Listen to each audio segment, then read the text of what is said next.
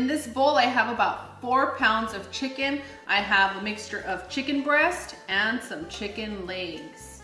And you guys already know I can't fit everything in this bowl, but I will be doing a total of four chicken legs. So go ahead and add your ground cumin, chili powder, paprika, onion powder. Ooh, that wanted to stay. Who didn't want this onion powder to come through? I love onion powder. Was that you? That was not me. I'm currently obsessed with onion powder the same way that I'm obsessed with chicken bouillon, so watch out you guys. Some black pepper and a little bit of salt.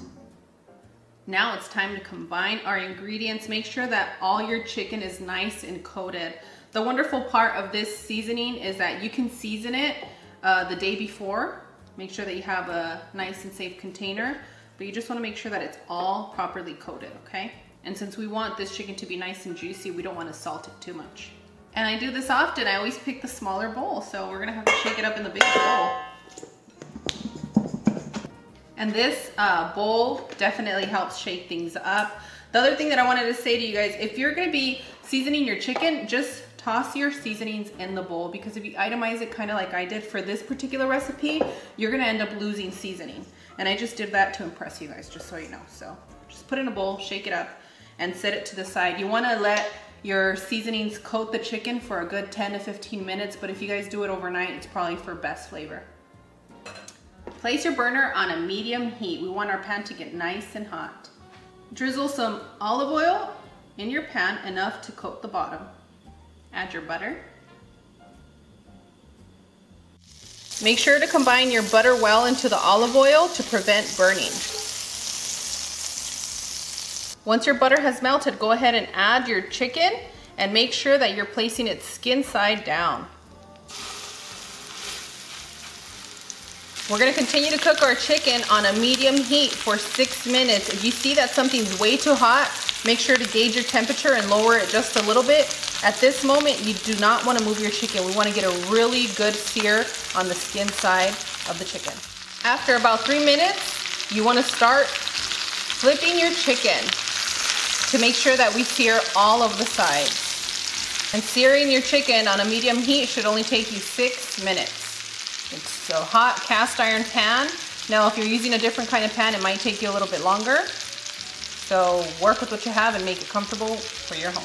After about six to eight minutes, you will see that your chicken is nice and seared. And some pieces might require a little bit more time than others. So you can just kind of flip it, eyeball it. Add your remaining butter.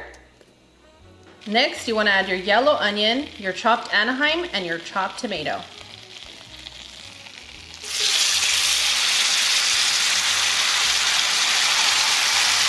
Next, I'm gonna add my garlic and all I did was just smash them a little bit with my knife on the cutting board. Combine all your ingredients and continue to cook on a medium to medium low heat for four to six minutes until everything gets nice and soft. Next, you wanna add your all-purpose flour. Combine that well. Should take you about 20 seconds to cook your flour into this buttery, delicious seasoned oil. And next you wanna add your tomato sauce. And allow that tomato sauce to cook for a good 30 to 40 seconds. And we are still on a medium heat. You smell that? Smells so good. Smells different. Once your tomato sauce cooks, it just, it just gives you another layer of flavor. After about 45 seconds, you wanna add your chicken broth. And what I did is I used a cup of warm water and add, added one tablespoon of chicken bouillon. That's a little brighter. Is that the natural one? That one is the natural one, yes. While you're mixing, you wanna add your half and half. Now, for those of you that want it extra creamy, use half a cup of half and half and half a cup of heavy whipping cream. Combine all your ingredients with all the love that you want your family and loved ones to feel while you're gonna feed them this delicious creamy chicken. I just have one song that comes to mind when you say that. What? Can you feel the love tonight? Oh, you're gonna feel the love. I even left the garlics nice and whole for you because I know you're the garlic lover in this did. family. I appreciate you.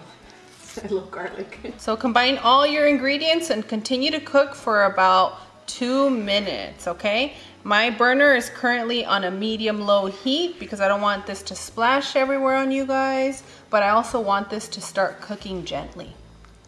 We're letting our, our flavors know, hey, we're gonna slow it down. This is a slow dance. We wanna brighten up the flavors in the chicken. We don't want this to be fully blasted because this is a dish that you make for those that you love. After two minutes, you wanna add your Mexican oregano.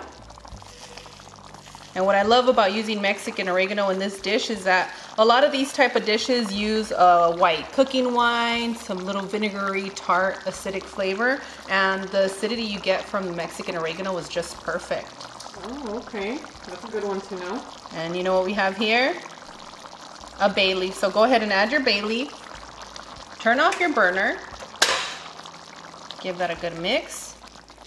I mean, you can even just pour this over some rice and be ready. We're over some potatoes. I've been over potatoes lately. Oh, you want some potatoes? Okay, she should have never said that I got something for you guys. I mean, I'm not over them. I mean, putting things over them. Oh, I see what you're doing. Okay, okay.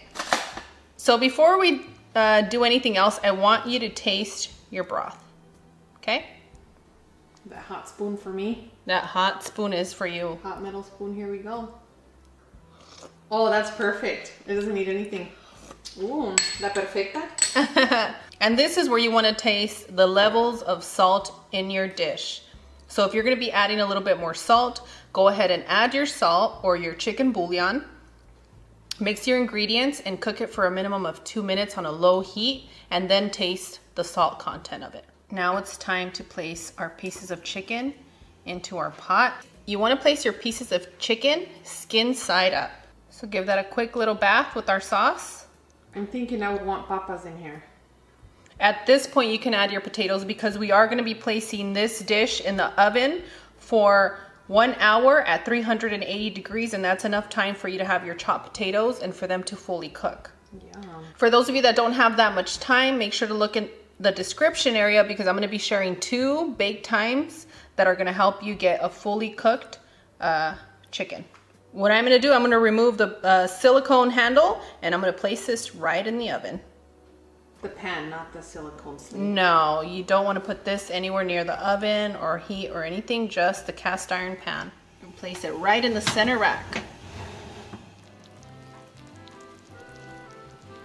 And boom, done amigos. Our chicken is nice and ready. I kept it in there for an hour and what you can do is you can just lightly and gently just pour the sauce over.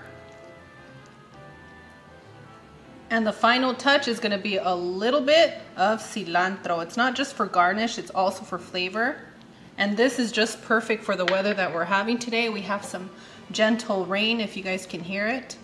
There's nothing more perfect than pouring some of this delicious sauce over your chicken and mashed potatoes on this rainy day. Don't be shy with that sauce. We have enough for everybody. Who's ready for an amazing bite? I know you're gonna want mashed potatoes with it. It's coming. Say ah.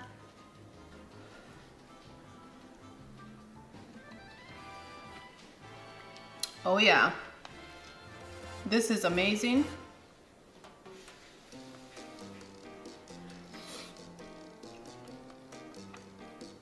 Wow, that's impressive. Somebody's gonna get proposed to with this chicken. What? And You're it's gonna not you. No, it's not, it's not me, you guys. But you're gonna impress your in-laws. You're gonna impress your family. You're gonna impress your kids, your friends, anybody you make this dish for. They're gonna be like, "Wow, you made that," and you're gonna say, "Yes, I made it just for you." And sometimes if you just want to spoil yourself, I guess you can make it for yourself. And this is what I do. It's self-love. I cook delicious food and I enjoy it. Right after. Mmm. Mmm. Mmm. Mmm. Mmm. Mmm.